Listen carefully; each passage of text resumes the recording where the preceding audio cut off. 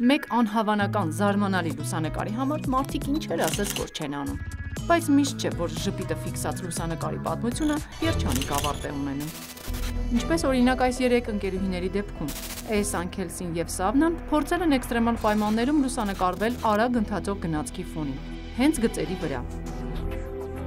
Լուսանկարը ստացվել է, բայց նրանց փրկվել չի հաջողվել։ Այդ նույն գնացքի գծերը կարողացել են շրջանցել, բայց հանդիպակաց ընթացող գնացքը չեն նկատել ու տեղում երեքն էլ մահացել են։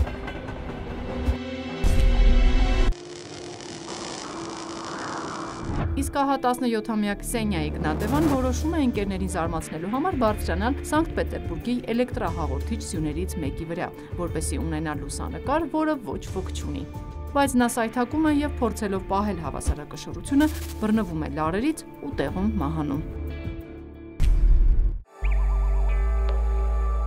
Էքստրեմի սիրահար մեկ այլ երիտասարդ էլ Ինդոնեզիայում որոշում է բարձրանալ մեր ափի հրաբխի գագաթ։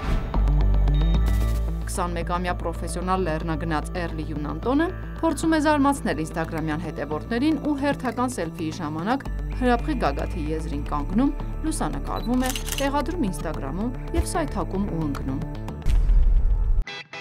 Կալիֆոռնիայի բնակիչն իր մեքենայի մեջ ուրախ երգեր է լսում, ոգեշնչվում ու որոշում է էմոցիաները կիսել Facebook-ցիների հետ, հուսալով, որ արագընթաց սելֆին շատ լայքեր կհավաքի։ Եվ մակագրել է. ուրախ երգերն ինձ երջանիկ են դարձնում։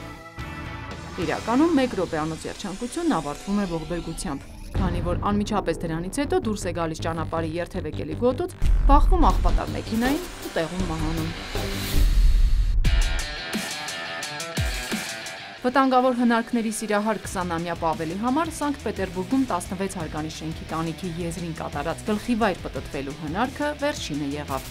Նրա ընկերը, որը հասցրել էր նկարել մահից վարքյաններ առաջ, հրապարակել էր լուսանկարն ու կոչ արել զերծ մնալ մահաբեր հնարքների փորձերից։